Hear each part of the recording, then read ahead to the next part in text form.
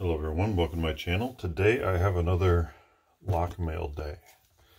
Uh, this box comes to me from BB Telpix. He sent me a few more, he's,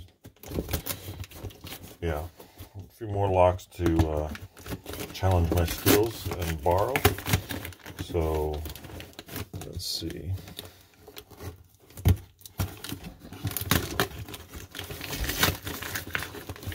I'm opening it upside down because I didn't want to remove his name.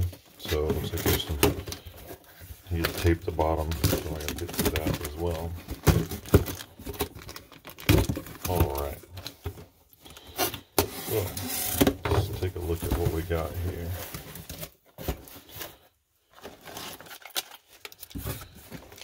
So we got a Brinks lock. Just kind of go through them and put them out as we go. Uh, he's talked about this one, the number 15 Master Lock, an old one. So, oh, again, BB Telpix, thank you very much for trusting me with your locks, uh, and so that I can borrow them and I will get them back to you. I really do appreciate it. Another uh, Bunker Hill locks here.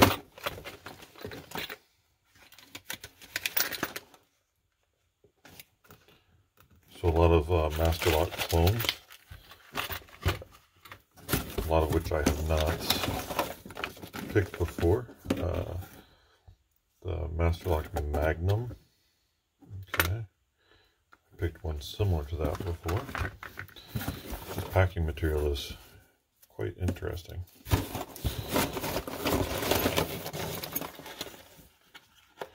Uh, Master Lock with a round body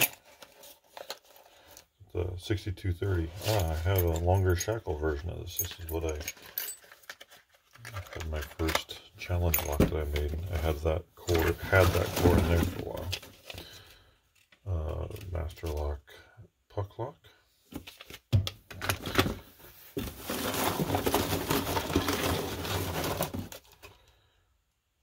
Bunker Hill. Uh, I think I've picked one of these. Um, but it was a challenge lock that I had done uh, that I didn't make a public video of yet. And what else have?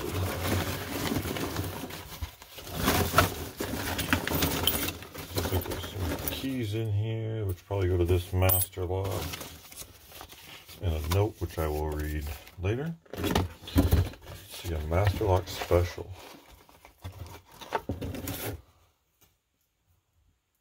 Another Master Lock 15. So let's see, maybe this is the one he was talking about. is it just two different ones? Yep, two different Master Lock 15. So he was telling me one of them, I think it's just because it's really old. The other one, I think he had, he said was some fun bidding. I'm not sure what the difference is. I will make a video on them, and before I make that video, I'll get some more information on that. So let's see if there's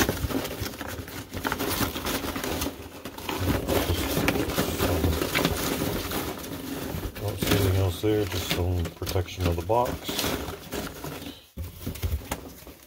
Probably for knife protection, you put another piece in there. So let's set this all out and see what we can do. So we got a couple of master locks, the magnums. Master lock, two master lock 15s. Two bunker hills. One in a shroud, one out. I would assume that they're very similar in size. I'll have to take it out and look. Another Master Lock 62, 30 or 50? 6230.